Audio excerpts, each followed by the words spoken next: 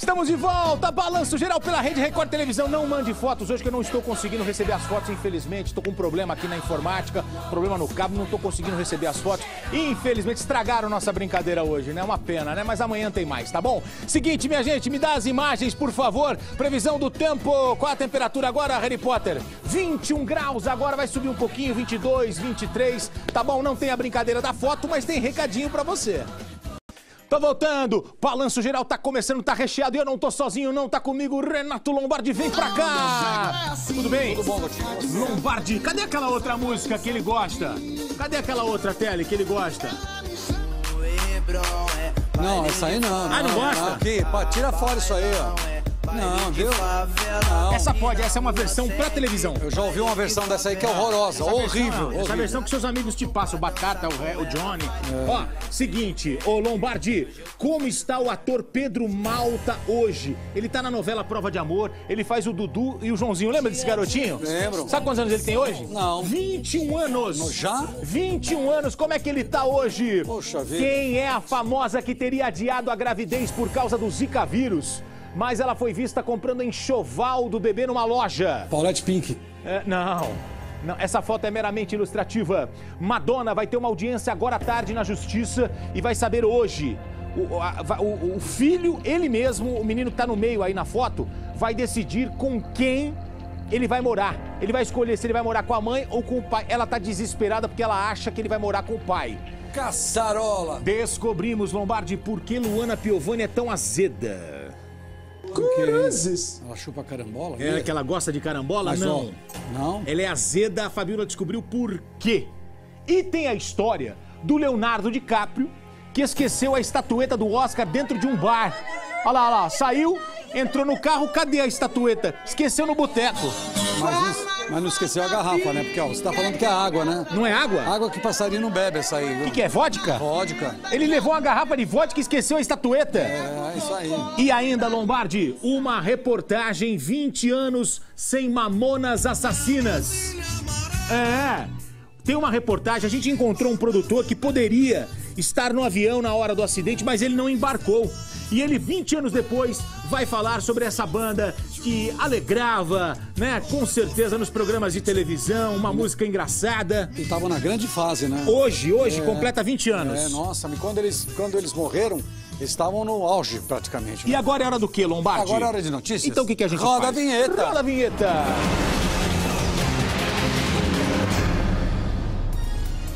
Atenção, atenção, flagrante de infração no trânsito. Mostra aí a marginal Tietê, perto da ponte Jânio Quadros. Olha o que o motorista faz. Ele fica dirigindo. O que, que é isso aí? É a mão e o, o pé também. É, a perna aí, ó. A perna, todo o pezão lá no retrovisor, ó. Em plena marginal é flagrante da cidade. O condutor foi flagrado, olha aí, ó, com o bração e a perna pra fora. Sem atenção nenhuma, sem os cuidados indispensáveis à segurança. A multa, é, eu acho curta, viu? Pequena, 53 reais. A infração é considerada leve e o motorista perde três pontos na carteira. Aí, Lombardi, Só que não é, o você seguinte, dirigindo não, né? é, se ele precisar frear o carro, até ele puxar a perna, botar a perna de novo no- na volta da embreagem, ó, já era, meu amigo. Já era completamente. A ponte Jânio Qua- Jânio Quadros fica na Vila Maria, antiga ponte da Vila Maria, na zona norte de São Paulo, viu, Gotinho? Olha aí, gente, a imagem pra você. Ele ainda olha pra câmera, É. não tá nem aí. Que não tem fiscalização, tem é radar só na Tem na- vaia, tem vaia pra ele aí, Teletubbies. Põe vaia pra ele, por favor. Esse merece uma sonora vaia. Nota zero pra esse motorista. Olha, uma batida entre um ônibus e um caminhão deixou quatro mortos e nove feridos. Olha essa imagem, Santa Catarina. O ônibus havia saído de Florianópolis com 16 passageiros em direção à Concórdia, no interior catarinense. O caminhão estava na pista contrária, carregado de esterco. Olha só, morreram o motorista do caminhão, Júnior Gonçalves, o do ônibus, Cleucir Arnes, e outros dois passageiros do ônibus que não foram identificados. Outros três sofreram ferimentos graves e seis leves. Seis passageiros ficaram com ferimentos leves. A polícia ainda está apurando as causas do acidente. O balanço geral está só começando recheado de notícia e informação. A polícia, olha essa história. A polícia investigava uma quadrilha suspeita de traficar drogas em São Paulo. durante seis meses e apreendeu quase 4 toneladas de maconha. Sabe da onde vinha a droga? De fora, do exterior, e ia ser distribuída aqui em São Paulo. Balança a reportagem. A droga foi encontrada escondida neste caminhão em meio a uma carga de soja. Os criminosos foram presos em Osasco, na Grande São Paulo. Resultado de seis meses de investigação do DENAC, por intermédio da Quinta Dize, é, foram feitas diversas diligências de campo, também um trabalho de inteligência em paralelo. E depois de um cruzamento de dados e um acompanhamento dessa, dessa quadrilha que vinha agindo trazendo entorpecente do Paraguai aqui para o estado de São Paulo para distribuição. As prisões aconteceram no momento em que a quadrilha transportava a carga de maconha para outros veículos menores. Parte dessas pessoas vinha transportando a droga para que fosse distribuída depois dessa carreta maior para veículos menores de carga que, que, abasteceriam os pontos de comercialização. Um dos suspeitos fugiu e chegou a atirar contra os policiais. Estavam armados, é, um deles conseguiu fugir, é, inclusive foi qualificado porque deixou um documento de identidade para trás durante a fuga. É, disparou contra a polícia durante a, a fuga, mas é, não houve nenhum tipo de, de lesão, ninguém se machucou e esse indivíduo conseguiu fugir, mas está identificado e vai ser é, representado pela prisão preventiva dele na sequência. Uma curiosidade chamou a atenção. A maconha era caracterizada com a figura do tio Patinhas. Os oito presos vão responder por associação ao tráfico e tráfico de drogas. Isso representa um golpe, pelo menos na região ali da Grande São Paulo, onde esse entorpecente todo seria distribuído. E por falar em tráfico, uma denúncia anônima leva à prisão um africano que estava com meio quilo de cocaína. Segundo a polícia, ele ia levar essa droga para a Cracolândia, no centro de São Paulo. Vamos ver a reportagem, balança. Noble John Kulozwa, de 37 anos, veio da Namíbia, sudoeste da África. Ele chegou ao Brasil há pouco mais de cinco anos e foi preso na noite desta terça-feira, depois de uma denúncia anônima. A informação nos dava conta que ele acessaria a rampa que daria acesso ao metrô e pegando o metrô ele iria no sentido da Estação da Luz, onde ele desce normalmente. O suspeito foi abordado pelos policiais numa rua próxima ao terminal Barra Funda, na zona oeste de São Paulo, onde ele pegava droga que chegava de ônibus. Os policiais passaram a vigiar o local e viram o africano descendo de um táxi junto com outro homem, mais alto e também negro. Os dois foram abordados e começaram a brigar com os investigadores. Noble acabou preso, o outro homem conseguiu fugir. Com o africano havia cerca de meio quilo de cocaína pura. O que indica que existe um preparo para mais que multiplicar por cinco, seis vezes essa quantidade, que acaba gerando um lucro. Segundo a polícia, Noble vendia droga na Cracolândia, centro de São Paulo. Ele já havia sido preso por tráfico. Na época, a Polícia Federal flagrou o africano com droga no Aeroporto Internacional de Guarulhos, na Grande São Paulo. Condenado a quatro anos e dez meses de prisão, ele ficou três anos em regime fechado e vinha cumprindo o restante da pena em regime domiciliar. Tá aí, o investigador Mauro falou ali, ótimo trabalho da polícia, né? Você vai ver agora a prisão de um falso advogado. Lombardi, presta atenção comigo nesta reportagem. Falso advogado foi pego pela polícia, foi capturado. Ele é um golpista. Ele extorquia dinheiro das vítimas, prometendo facilitar a vida de quem era intimado pela justiça. Ele, ao invés de ajudar, ele acabava extorquindo, atrapalhando ainda mais a vida dessas pessoas. Vamos ver, balança a reportagem. Um curioso gravou o momento em que o acusado foi preso pela polícia no centro de Belém. O homem carregava um pacote cheio de dinheiro. Ele havia acabado de receber o valor de 5 mil reais da vítima do estelionato. Abre do céu, que isso? Abre Sei, me deu aqui em cima. Né? Bora, calma, calma, tem que De acordo com as investigações, o preso se passava por advogado. Ele estava tentando extorquir é, um cidadão que foi intimado a, para prestar depoimento na delegacia da, de meio ambiente. Então ele se apresentou como advogado, dizendo que resolveria a vida do, da pessoa que tinha sido intimada. O falso advogado teria dito à vítima que o dinheiro seria para pagar uma delegada da DEMA e assim livrá-la da acusação que respondia. O acusado se diz bacharel em direito, mas não apresentou qualquer documento para comprovar a profissão. E ele é advogado? Não, não é advogado. É, segundo ele, é bacharel em direito. O preso prestou depoimento na Delegacia de Repressão ao Crime Organizado. De acordo com o delegado, outras vítimas apareceram na delegacia. Apareceu outra vítima já dele, falou que tinha recebido 120, é, ele pagou 120 mil reais para ele. O acusado vai responder pelo crime de extorsão. A pena varia de 4 a 10 anos de cadeia. Ô Lombardi, eu contrato um advogado. Tem como eu saber se ele é advogado de verdade ou não? Como eu faço? A não ser que você seja apresentado por alguém que já foi defendido por ele. Do contrário, tem que falar com a OAB, a Ordem dos Advogados do Brasil. Quando diz que ele é bacharel, bacharel não é advogado, por quê? Para você ser advogado, mesmo sendo formado em direito, tem que fazer o curso da ordem. Passando no curso da ordem, aí você vira advogado. Então vem cá, é muito fácil o que o Lombardi falou. Como é que você checa na OAB? Entra no site da OAB digita o nome do advogado ou o número da carteirinha da OAB. E o todo... cara só fazer a faculdade de direito não dá, não, o cara não pode trabalhar como advogado. Não pode ter que ter a, a, a, o registro da OAB, tem que fazer uma prova que é super difícil, inclusive. Agora veja essa outra história. Um homem se passava por servidor da Casa da Moeda e prometia multiplicar o dinheiro das vítimas. Ele usava terno chique, tinha boa pinta. Só que o falsificador foi preso na própria casa, que na verdade é uma mansão. O cara dava golpe. Vamos ver. De cabeça baixa, o falsificador de dinheiro não quis falar com a imprensa. Como você conseguia falsificar dinheiro? Mas da polícia não teve como escapar. Preso, Evenilson Pereira da Silva, de 46 anos, teve que contar como era o esquema. Colocava o dinheiro imerso em uma substância e depois de 20 horas ele teria que é, abrir aquela, aquele isopor para finalizar o processo. Ele voltaria para fazer isso, só que ele nunca voltava. Em Belém, quem caiu no golpe foi uma empresária do ramo de transportes. Ela pagou a ele 350 mil reais para multiplicar dinheiro.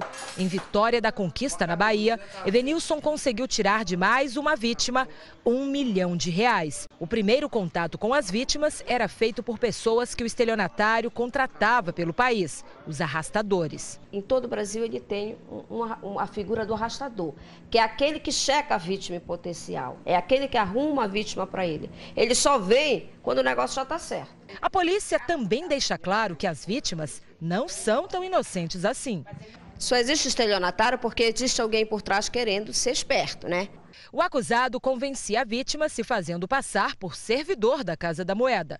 Depois, como um verdadeiro alquimista, ele usava substâncias químicas para falsificar algumas notas. A polícia apreendeu ternos caríssimos que ele usava para aplicar os golpes. Este custa 11 mil reais. No primeiro momento, Evenilson convencia as vítimas com a aparência. Se apresentava como um doutor, uma pessoa elegante. Vivia como um milionário, mas todo o patrimônio estava registrado em nome de amigos e familiares. A Polícia do Pará, em parceria com a Polícia do Distrito Federal, prendeu o acusado na casa dele, uma mansão no setor Gama, em Brasília. Olha, é, ele só dá golpe em quem quer ser tão espertinho quanto ele. Então a, a delegada falou bem ali. Atenção que eu tenho um chamado ao vivo agora. Você lembra do caso Ezra? Que padrasto e a mãe do menino que foi morto aqui em São Paulo fugiram para Tanzânia, foram presos na África, retornaram para o Brasil. Reviravolta no caso. Não tem nada de padrasto, não. A mãe do menino Ezra, morto no ano passado no centro de São Paulo e colocado dentro de um freezer, confessou ela ter matado o próprio filho. Ela e o esposo, o esposo é o padrasto do menino, seriam transferidos hoje, mas parece que não. Deixa eu conversar com a Ingrid Gribel, que está ao vivo. Não tem mais transferência hoje. Ô Ingrid, boa tarde para você. E essa reviravolta no caso, todo mundo suspeitando do padrasto, porque ele já tinha agredido o garoto, mas a mãe confessou ela ter matado o menino. Boa tarde para você, Ingrid. Boa tarde para você também. Gotino, eu falo ao vivo aqui da porta da Polícia Federal, na zona oeste de São Paulo, onde estão na carceragem a mãe e o padrasto do menino Esra. Pois é, a transferência foi suspensa. A Polícia Federal já informou que, por um problema de vaga, os dois não devem ser transferidos ainda hoje. A mãe de Esra seria levada para a cadeia pública de Santana, na Zona Norte. Já o padrasto seria levado para o Centro de Detenção Provisória de Pinheiros, também na Zona Oeste. Bom, durante uma confissão, durante um depoimento à polícia, a mãe do menino, Liane Fenck, tem 29 anos de idade. Ela confessou ter matado o próprio filho no apartamento ali na região central de São Paulo, no, mês de setembro do ano passado, com um golpe de faca. Já o padrasto, num outro depoimento, disse que não estava no apartamento no momento do crime, que foi buscar as duas filhas na escola e por isso, quando voltou, já encontrou o menino morto e colocado dentro de um freezer. Tudo isso já são informações que estão com a polícia nesse momento. Os dois devem ser transferidos assim que houver vaga no sistema penitenciário. Essa que foi morto em setembro do ano passado e que foi sepultado sem nenhum tipo de velório ou cerimônia. Gotino. Obrigado, Ingrid, pelos detalhes. A Ingrid Gribel sempre bem informada.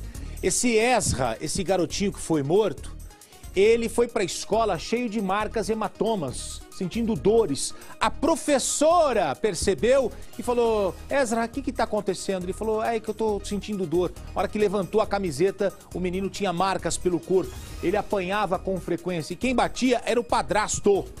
Agora vem a informação de que a mãe do menino, não o padrasto, teria confessado o crime. Renato Lombardi, reviravolta nesse caso. A mãe confessou o crime. Foi ela ou a polícia trabalha ainda com a possibilidade do, do padrasto ter envolvimento com a morte direta do garoto? A informação que eu tenho é que os dois têm. Direta, eles estão ligados ao, ao crime, à morte do menino de 7 anos. O que acontece é que eles têm outros dois filhos. As crianças ficaram na Tanzânia com a família do padrasto. Então, o que eles teriam combinado? Um assumiria o crime sozinho, na tentativa, na iminência de que o outro fosse libertado pela justiça, para poder voltar para cuidar dos outros dois filhos. Só que ele foi indiciado também por. Os dois foram indiciados por autoria. Nessa altura não tem. Ninguém vai livrar. Ninguém vai livrar a cara de ninguém aí, viu, E tem outros agravantes, tem ocultação de cadáver, eles esconderam o corpo, fugiram. Olha, ela confessando o crime, para mim é uma surpresa. Daqui a pouco a gente vai voltar com esse assunto. Olha o momento que eles desembarcaram no aeroporto, vindos da África, estavam na Tanzânia e agora estão presos. Ela confessa o crime. Ela confessa o crime. E ele pode sair livre ou não? Renato Lombardi daqui a pouco comenta mais o assunto. Agora é hora do nosso giro de notícias. Vem pro telão do Gotinão. Marcião, abre aqui que agora eu vou colocar no ar o nosso giro. Uma pessoa morreu Cinco ficaram feridas em um acidente perto da cidade de Cedral, no interior de São Paulo. As vítimas todos jovens voltavam de uma festa. Essa é a primeira reportagem do nosso Giro Balança. Os jovens voltavam de uma festa universitária quando o acidente aconteceu. O carro onde os seis estudantes estavam ficou completamente destruído. Após bater na traseira de um caminhão, o motorista perdeu o controle e colidiu contra duas árvores. O universitário Victor Cerezini de Freitas, de 20 anos, morreu no local. O motorista Leonardo Duarte Gonçalves, de 22, foi levado para o hospital de base com ferimentos graves. As outras quatro vítimas sofreram ferimentos e foram encaminhadas para unidades de saúde de São José do Rio Preto e Cedral. De São José do Rio Preto, Robson Ricci. Polícia descobre refinaria de drogas no bairro Sambaiatuba, na cidade de São Vicente, litoral de São Paulo. Duas pessoas foram presas. Após denúncias anônimas, os policiais chegaram até um barraco dentro da comunidade, onde o entorpecente era preparado. Equipamentos para refino e armazenamento da droga também foram apreendidos. No local, a polícia encontrou folhas com a contabilidade do tráfico, valores que ultrapassam os 50 mil reais. A polícia acredita que o ponto abastecia não só as cidades da Baixada Santista, mas também da capital. De Santos, Gabriel Rodrigues. Cinco pessoas foram detidas em Franca suspeitas de tráfico. Elas vendiam as drogas a menos de 20 metros da porta de uma escola. Centenas de pedras de crack foram apreendidas, além de dinheiro. Cinco pessoas estavam na casa, sendo duas mulheres. Com a chegada da polícia, um dos rapazes tentou jogar a droga dentro do esgoto. A casa usada para o tráfico fica em frente ao portão de entrada e saída de alunos de uma escola estadual. De Franca, Rafael Ribeiro.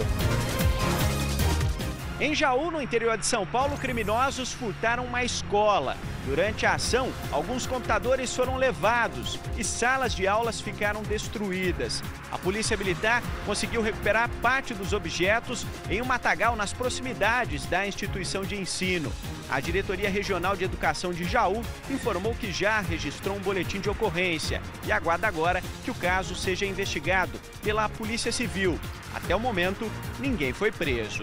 De Bauru, Ângelo Boaventura. Obrigado, Ângelo. Um abraço a todos os competentes repórteres da Rede Record no interior de São Paulo que ajudam a Record a ter essa grande força aqui no estado de São Paulo. Olha, você vai ver agora como é que agiu uma quadrilha de mulheres que invadiu um mercado. Elas levaram vários produtos. Enquanto umas pegavam tudo o que elas conseguiam, uma outra fica do lado de fora, dentro de um carro, esperando para fuga. Uma mulher como piloto de fuga. Já viu isso? É tipo Velozes e Furiosos. Balança. As câmeras de segurança da padaria flagraram o momento em que as mulheres entram no comércio. Elas andam pela loja, olham e vão para o freezer. Pegam os produtos, colocam tudo no balcão. Continuam ali há algum tempo. Repare que elas escolhem as mercadorias com calma. A mulher de blusa preta guarda tudo em uma sacola.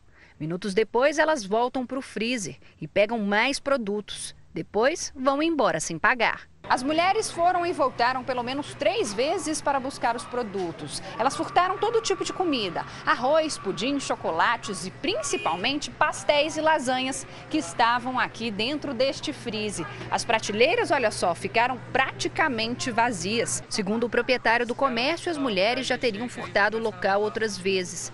Elas agem sempre da mesma forma. Entra as quatro, aí uma vai pro carro e fica três aqui dentro da padaria roubando. E vai e coloca dentro do carro, uma fica esperando dentro do carro. Sabe aquele 1%? Para ela não existe. Quem é a modelo que roubou 100% do coração do safadão? O dia a dia de Tiane Dantas, casada com o cantor do momento. É hoje, no programa do Gugu.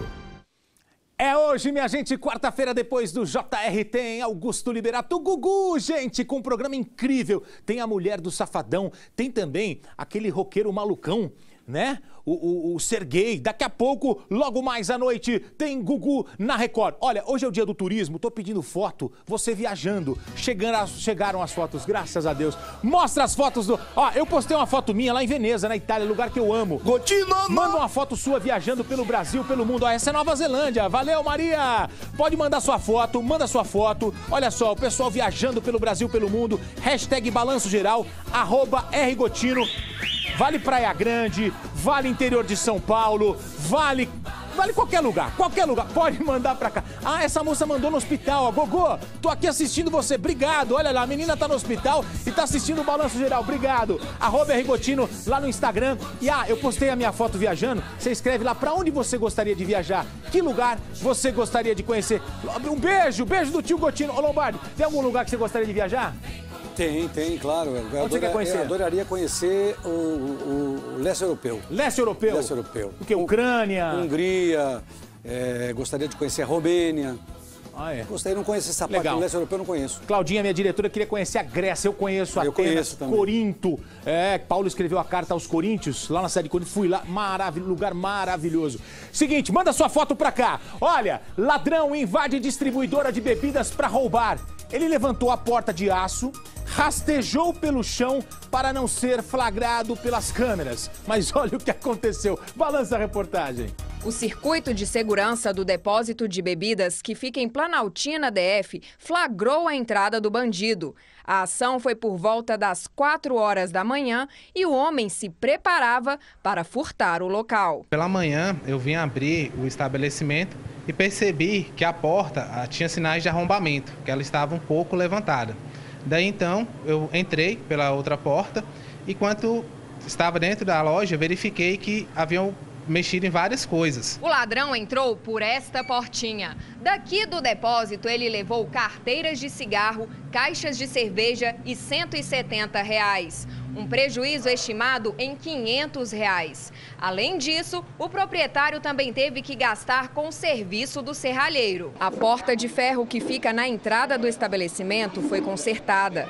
O dono colocou novos trincos e também um cadeado na grade para aumentar a segurança. Está faltando policiamento. Se tivesse um policiamento mais efetivo, com certeza esses pequenos crimes seriam coibidos. Maurício registrou o boletim de ocorrência do furto. Ele acredita que o suspeito seja alguém da região. Pelas características de como entrou, de como tentou desligar as, a, luz de, a luz que fica do lado de fora, através do disjuntor, com certeza é alguém da região, alguém bem próximo. Olha essa história agora. Policial militar foi acusado de fazer parte de uma quadrilha de traficantes que agia no interior de São Paulo. Era o PM que passava informações aos criminosos e ele trabalhava como agiota, financiando o grupo que pagava depois com juros. Vamos ver a reportagem. 150 policiais federais e militares cumpriram 25 mandados de prisão e de busca e apreensão em quatro cidades: Bauru, Pederneiras e Araras, no interior de São Paulo, e Campo Grande, no Mato Grosso do Sul. No total, 18 pessoas foram presas. Outras três já cumprem pena em presídios da região. Durante oito meses, as polícias levantaram provas de que em Bauru existia um enorme esquema de tráfico de entorpecentes, que era independente, ou seja, não tinha relações estreitas com a facção criminosa que age a partir do estado de São Paulo. São mais de 400 quilos de droga que foram apreendidas e, na verdade, são duas organizações criminosas, não é uma só. E elas atuavam de modo independente, sim. Segundo as investigações, as quadrilhas mantinham um esquema minuciosamente elaborado. A droga era comprada de fornecedores de fora do país, entrava no Brasil pelo estado do Mato Grosso do Sul até chegar a Bauru. Daqui, os entorpecentes seguiam até os pontos de venda na região. Nos últimos meses, as investigações descobriram a participação de um PM no esquema policial teria agido de duas maneiras, dando informações privilegiadas aos bandidos sobre investigações em andamento e como uma espécie de agiota, para financiar toda a cadeia, que vai desde a compra dos entorpecentes, entrada no país, rotas, transporte, supostos pagamentos de propina, até a ponta final, que são os usuários, o policial estaria emprestando dinheiro. Por isso, os traficantes pagariam juros. Se nessa última função ele agia sozinho ou seria só um intermediário, ainda não se sabe. Segundo a cúpula da Polícia Militar de Bauru, assim que descobriu que o cerco estava se fechando, o PM, que não teve o nome revelado, pediu licença. Ele ainda não foi preso. Baseado nas provas que forem trazidas, que forem dadas ao conhecimento da Polícia Militar, vai ser uma providência ou outra a ser é, adotada, que é o afastamento ou instauração de um procedimento específico.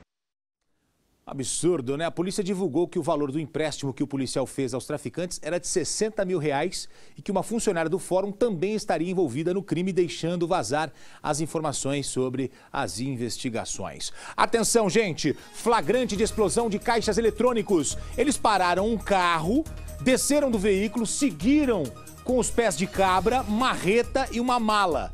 Primeiro, os três criminosos entram em um dos bancos. Olha aí, acontece a explosão, ó. Olha aí, ó. Nossa, olha aí de novo, ó. Olha aí, ó. Instalaram os explosivos, correram e assistiram à explosão do lado de fora. Depois a quantia em dinheiro foi levada, mas não foi divulgada a quantia que foi levada, viu, ô Lombardi? Mais explosão de caixas eletrônicos. Olha, de todas as explosões que, que a polícia fez no levantamento, só num caso o ladrão explodiu junto deveria ter explodido junto esses outros também, viu? Porque ó, o Brasil é o único país no mundo onde se explode caixa eletrônico. É impressionante, tipo, e a polícia não consegue parar isso, não. Olha essa, cadeirante é preso com quadrilha de assaltantes. Agentes prenderam sete pessoas acusadas de praticar roubos e furtos. E lá estava o cadeirante. Foram apreendidos é, réplica de pistola, duas facas, estiletes, celulares, dinheiro e é, até dólar, viu? O grupo foi levado para a delegacia. Isso aconteceu no Rio de Janeiro. Olha, vem pra cá, manda sua foto pra cá hoje. Hoje é o dia do turismo. Põe a foto do pessoal viajando aí, ó. Olha, galera, ó. Que lugar você gostaria de viajar? Conheceu. Isso aí tá em Piracaia, olha que legal, cidade bacana. Olha que foto linda da moça, hein? Olha, hashtag balanço geral, arroba Rgotino, aí tá em Sergipe. Olha, Maldivas, olha que lugar lindo. Entra lá, Praia Grande, hum. olha a moça aí, bonita, na Praia Grande. Olha aí que bacana. Olha, entra lá, entra lá no Instagram do Gotino, arroba R Gotino, eu postei uma foto eu viajando. Aí você coloca o lugar que você gostaria de conhecer, daqui a pouco eu vou ler algumas mensagens. Eu gostaria de conhecer a Holanda, não tinha falado aqui, não conheço ainda. Por falar em viajar, vamos até a China. Motorista provoca acidente. A cena chega até a ser engraçada. O caminhão leva apenas uma árvore, gigante, no bagageiro. O motorista sai batendo e aí olha o que ele faz, ó. Ele joga o tiozinho pra fora. Jogou o tiozinho dentro do córrego do rio ali, ó. Olha aí, Lombardi. É a Fabiola Hypert que tá dirigindo aquele caminhão? Meu Deus do céu, ele jogou o tiozinho pra dentro do rio ali, Lombardi. É um absurdo, né? O que ele tá carregando, uma árvore cai, né? Não, não tem nem como, viu, Gotino? Agora, onde é que tá a fiscalização? Não tem nada, não tem nada, tá, tá andando sozinho. Olha aí, gente, provocou o acidente. Segundo testemunhas, ele só parou 5 quilômetros depois, porque provavelmente alguém avisou do que ele fez lá atrás. A vítima do triciclo não se feriu. Isso aconteceu na China. Tá aí a imagem para você, cada acidente que acontece, hein?